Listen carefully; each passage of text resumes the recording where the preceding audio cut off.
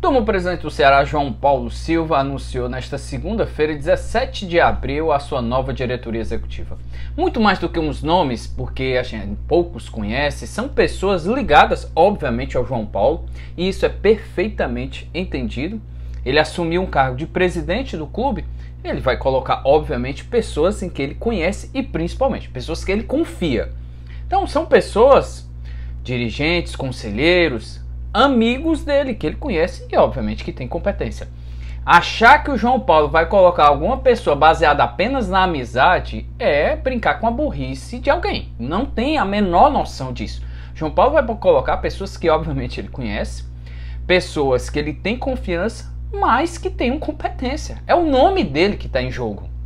João Paulo sabe, ele tem uma oportunidade enorme na vida dele de não apenas fazer um mandato tampão, que ele está substituindo o Robson de Castro até 2024, para, obviamente, ele querer uma reeleição. Então, assim, eu acho que é, é, é, injusto fazer qualquer crítica relacionada à diretoria executiva. Acho que o João Paulo tem todo o direito de escolher quem ele acha que é competente e que, quem ele tem confiança.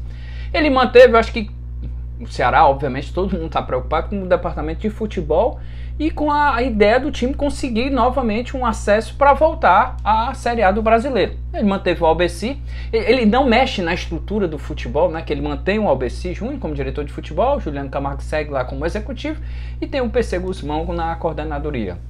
Eu acho que isso ele deixa. Na base, ele manteve o Israel Portela, é o Israel que fica lá na base. Então, esses dois pilares do time do clube, ele mantém. Obviamente o financeiro ele chamou alguém que ele conhece muito bem e tal, assim como do administrativo e tal, manteve alguns outros nomes, como Veridiano, Afonso Lobo, Pedro Mapurunga, desculpa. Mas isso eu acho que fica é, é, um pouco de lado no principal motivo da escolha dos novos diretores, que é, são pessoas competentes e amigas dele e que ele tem confiança. Dito isso, eu acho que durante a coletiva a gente fez questão, não somente eu, mas como o Bruno também, lá do Vozão Cast, o Rodrigo do canal do Vozão, junto com a Livinha, eles fizeram questionamentos sobre transparência, sobre o novo trabalho dele, o que se esperar, sobre títulos. E o João Paulo, eh, foi até meu questionamento, ele fala muito de transparência, de, de melhorar a comunicação do clube, que faltou, e realmente faltou ano passado, foi até meu questionamento isso é, o que acontecia dentro do clube, a gente sabia, as denúncias que eram, que saíam com o Dr. Eupídio, que todo mundo conhece, que soltou nos grupos de zap, nos, no, em canais relacionados à torcida do Ceará. Então é preciso que ele venha a público explicar o que é a transparência. Ele disse que vai, ele disse que está aberto ao público, disse que está aberto à imprensa para tirar qualquer dúvida. Disse que se acontecer com essas denúncias, vai responder. Ele fala que muitas, do, muitas denúncias, muitas coisas foram muitas mentiras e que devido, obviamente, era o Robson que era o presidente, então ele deixou que o Robson, como não, a, a política do Robson é diferente da dele, ele não quis se meter. E na dele sim, ele vai responder e vai falar. Então, vamos acreditar que seja uma, uma realmente uma, uma gestão transparente.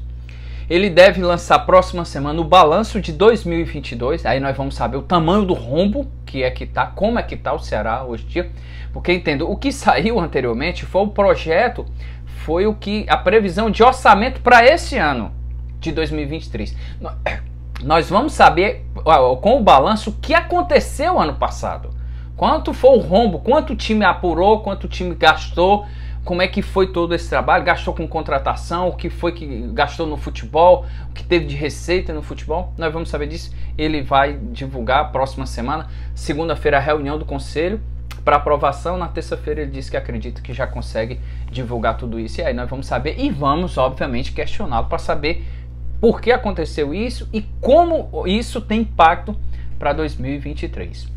Então, se você ainda não se inscreveu no canal, se inscreve no canal para a gente continuar produzindo mais esses vídeos né, dentro dos clubes para poder falar, questionar, representar não só o torcedor, mas principalmente um trabalho independente que a gente possa ter liberdade para perguntar, questionar e saber o que é que realmente acontece, não somente no Ceará, mas nos clubes cearenses. Até a próxima, gente. Um abraço.